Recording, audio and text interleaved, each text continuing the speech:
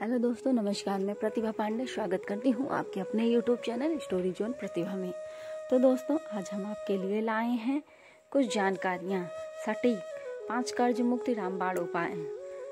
तो दोस्तों, आप जब पूरी वीडियो देखेंगे तभी आपको पता चलेगा। इसके बारे में इसलिए पूरी वीडियो में लास्ट तक बने रहें। कर्ज मुक्ति रामबाण उपाय।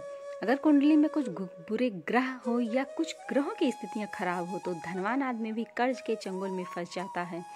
कर्ज में डूब जाता है। चाहता तो है कि कर्ज चुका दूँ, लेकिन पैसे की व्यवस्था नहीं हो पाती और कर्ज इस कदर बढ़ता चला जाता है कभी कभी आदमी के आत्महत्या करने की नौबत आ जाती है।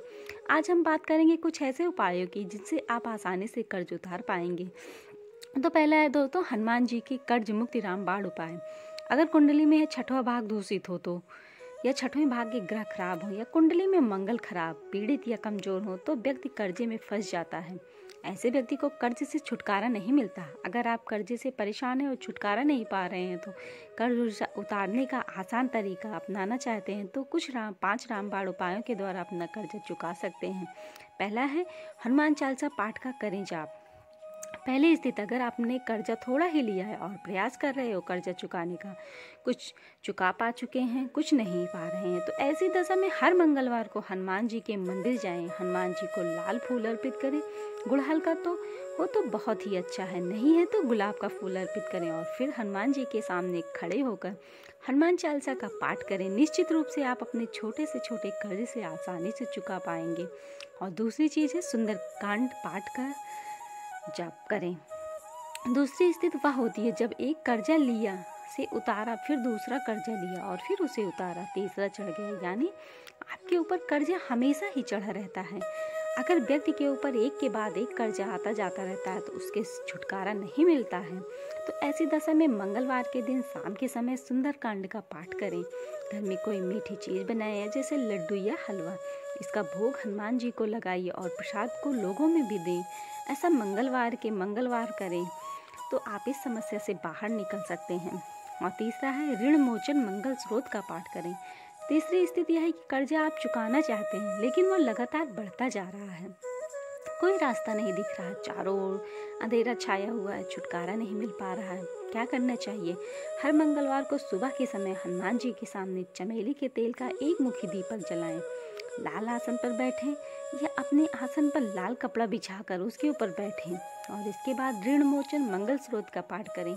यह नियमित रूप से सुबह के समय रोज करते जाइए।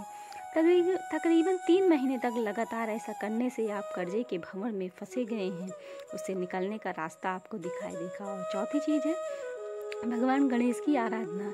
तो दोस्तों, चौथी स्थिति में अगर आप घर के लिए कर्जा लेना चाहते हैं, लेकिन मिल नहीं पा रहा है, तब आपने सारी व्यवस्था कर ली। लेकिन तमाम प्रयासों के बावजूद कर्ज की व्यवस्था नहीं हो पा रही है, जिससे आप गाड़ी, मकान या दुकान खरीद पाए तो क्या करेंगे? ऐसी दशा में बुधवार के दिन भगवान गणेश को दुर्वा अर्पित कीजिए। साथ में उनको लड्डू का भोग लगाइए और भगवान गणेश से प्रार्थना कीजिए कि आपका लोन सेक्शन हो जाए और आपको कर्जा मिल जाए।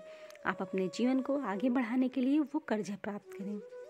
और सबसे लास्ट पांचवी चीज़ है शिव पुराण के अनुसार कर्ज मुक्ति के उपाय। अगर आपको किसी न किसी बात के लिए कर्जा अलग अलग लोगों से लेना पड़ता है। वो चुका नहीं पा रहे हैं। कर्ज बहुत ज़्यादा बढ़ गया है। तो ऐसी अवस्था में आपको शिव महापुराण के अनुसार वटकेश्वर मंदिर की आराधना करनी चाहिए। क्या करें? एक लोटा शुद्ध जल लें थोड़ा सा पिसा हुआ चावल और थोड़ी पिसी हुई हल्दी जल में डालें। फिर वटकेश्वर यानी वट वृक्ष के नीचे जाएँ और उसे जल को वट वृक्ष के जड़ में अर्पण करें। अपनी कामना बोलें, यानी कर्जे की परेशानी बोलें। ऐसा तीन या पाँच सोमवार मार्गों करें। फिर आखिरी सोमवार को वहाँ से वट ब्रिज की थोड़ी सी जड़ ले आए और लाल धागे या कपड़े में बांधकर जेब में रख लें कम से कम तीन महीने तक इससे वटकेश्वर महादेव की कृपा प्राप्त होगी तथा लक्ष्मी प्राप्ति होती रहती है और आपका कर्जा भी कम हो जाता है। यह उपाय सिर्फ़, न सिर्फ़ आपको कर्ज से छुटकारा दे सकते हैं, बल्कि ये आपको लक्ष्मी प्राप्ति के लिए तथा मानसिक और शारीरिक शांति प्रदान करते हैं। इन उपाय से आप आपके जीवन से जल्द से जल्द कर्ज से छुटकारा पा सकते हैं और आपका जीवन सुखकारी बना सकते हैं। तो दोस्तों, अगर हमारी ये छोटी सी जानकारी आपको अच्छी लगी तो कमेंट में ज़रूर बताइएगा। और हो सके तो किसी को ऐसी परेशानियाँ हो तो कोशिश ज़रूर करिएगा।